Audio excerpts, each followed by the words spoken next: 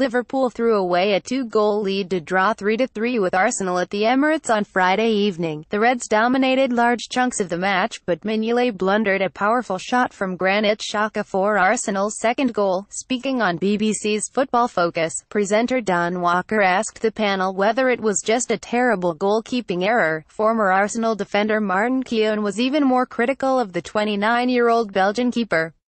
Getty BBC Liverpool News. The BBC panel were critical of Mignolet said, why is he not going with two hands it is just, it looks really awful.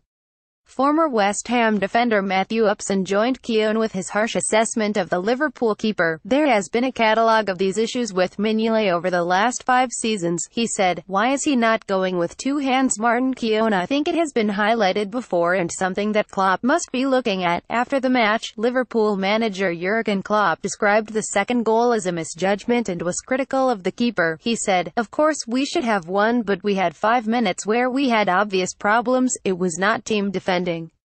The first goal and the second were misjudgments. We opened the door for them in these five minutes. I'm disappointed, I was aggressively happy at our equalizer. I have made my apologies, but if the people were to apologize to me it would take a bit longer. I did nothing, I threw a bottle onto the ground, I was not happy at that moment. Friday, December 22, 2017 It was not about controlling the game.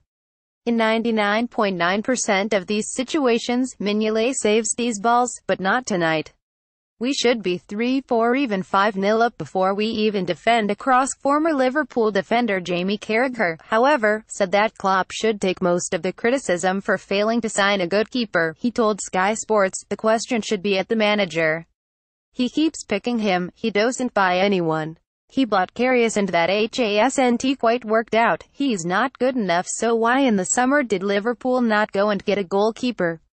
It's imperative Liverpool sign a goalkeeper. Mignolet is not early into his Liverpool career, we're talking four or five years and it's a long time. I don't think the question should be with the goalkeeper because we don't think he's good enough. It's now a question of the manager and why he HASNT addressed that.